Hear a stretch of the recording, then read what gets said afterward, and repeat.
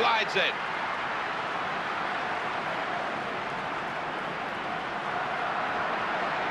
Terrific individual skill. Goes for goal! And there it is, the equaliser. Well, he aimed low and put it right into the corner. Well, wonderful goal. When he gets the chance, he makes full use of that opportunity.